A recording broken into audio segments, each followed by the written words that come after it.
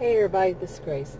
In this video, I want to talk about a job that I worked at where people would do, the higher ups would do anything to make a buck.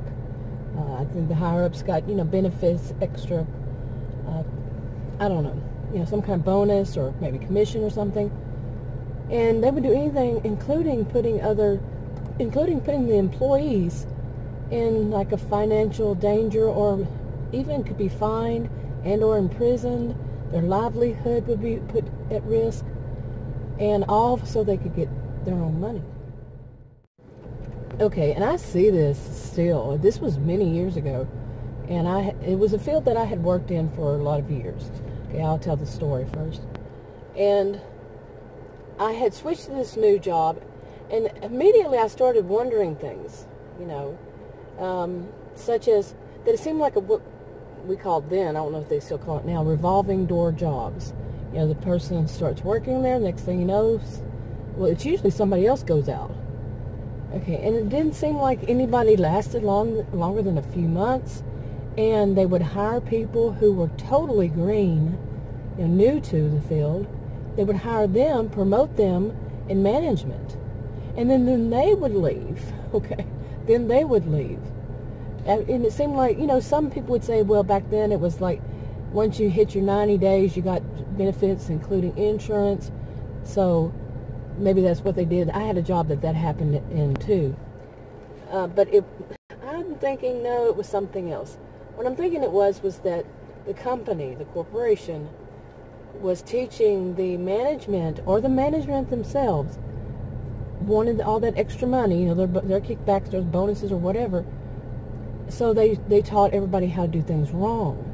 Well, the people who would be out the door were the ones who were started questioning it maybe. The ones who had actually worked in the field said, no, you don't do things this way because there were laws and everything. But there, there was one difference is that it, that field, things were always changing also. So, okay, and there, there were plenty of people working there, males and females, who had, you know, started working there and they'd worked in that field for years. And like I said, since things were always changing, maybe they thought, well, you know, maybe this is something that had changed. Well, th- this is what happened to me too.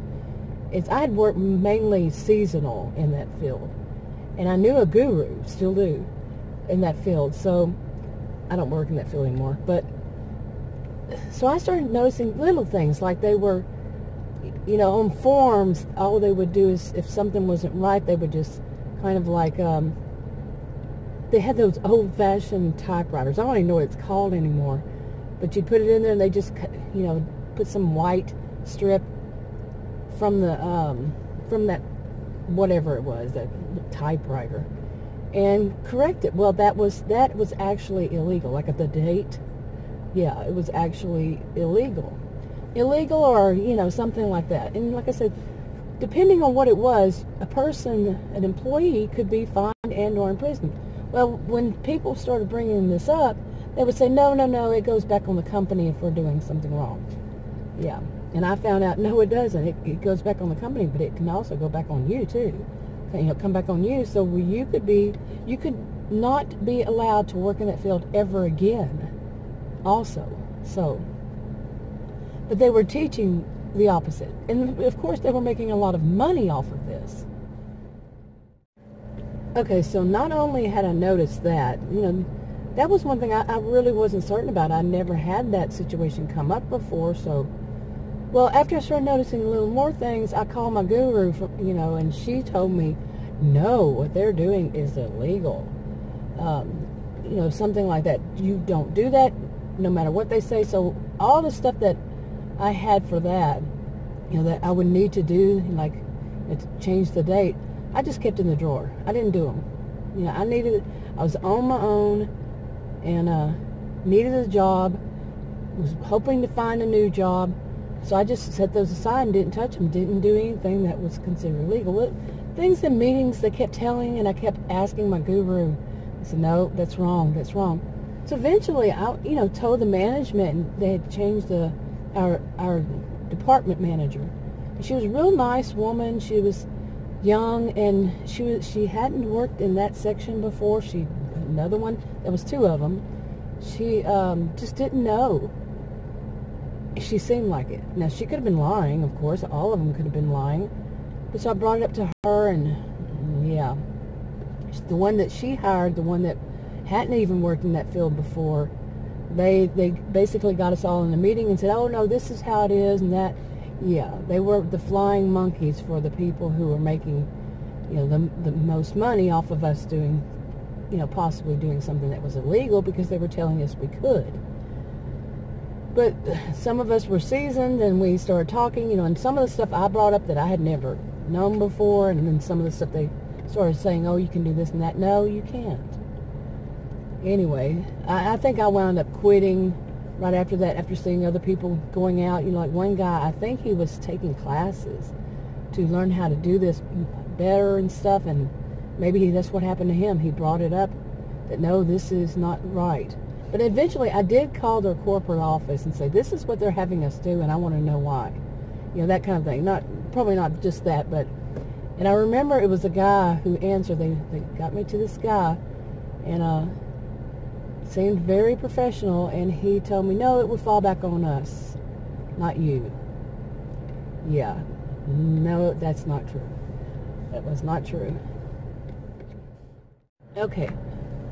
Well, that wasn't the only time I saw things like that in my lifetime.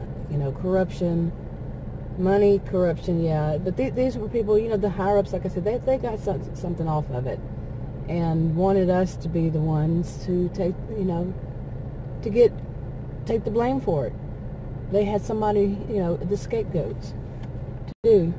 Yeah, and like I said, I've seen this so many times in my life, and I've seen it, seeing it, still seeing it. But the um, one of the things that happens is, say, when when somebody slaps their wrist and says, "No, you cannot do that," we we're making enforcing a law now and making everybody aware of it, and you cannot do that. What's strange to me, but not strange to me. I mean, I know this happens too, is that um, you know the people who have gotten used to getting away with it. Some of them might not even have known that it was something. They think that it's all of a sudden somebody's coming down hard on them, you know, and somebody's coming up with a new rule and they're going to fight against it. But no, it's always been there. You just didn't know about it, or you didn't care that it was there. You just thought that you were above the law. You could do whatever you wanted to do.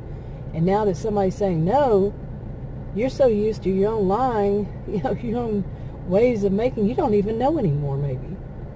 You know, because you're so used to just doing whatever you want. You want to do to make that money.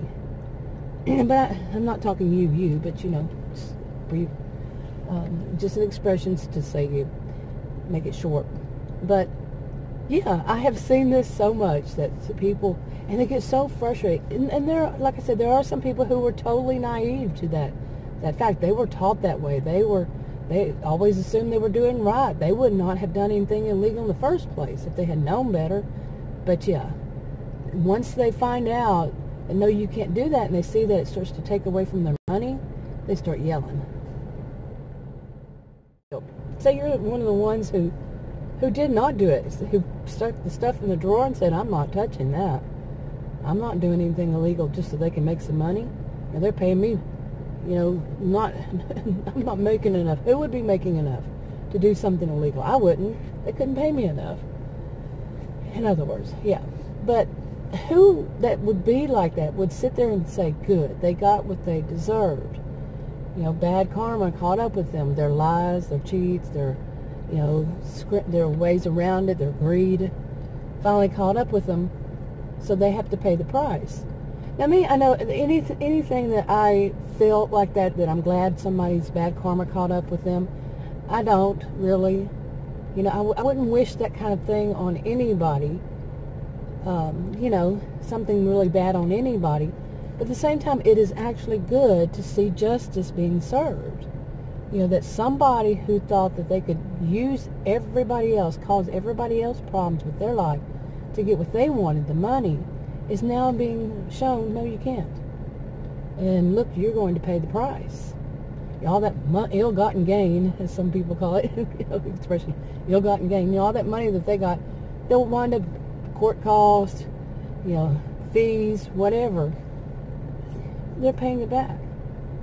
Now, like I said, I can I don't like to see bad things happen to anybody, but when justice is being served, that's a different thing. You know, I used to be stuck right there. I don't like seeing bad karma catch up. I don't see want to see bad things happen to people. And then Adam reminded me, well, yeah, you know, but you do want to see justice. I said, you're right. I don't know. I got stuck right there. But what about you? Where would you be? Would you would you be happy or would you just say, well, justice was served? And that's not a bad thing. And they were using innocent bystanders that could have been you just so they could make some money. Anyway, if you feel comfortable, leave a comment below. I'm going to go ahead and wrap this video up. If you want to subscribe to this channel, click the circle. If you want to watch another video on this channel, click one of the rectangles. Like, subscribe, comment, and share on your own social media if you would. I'll talk to you on another video. Bye.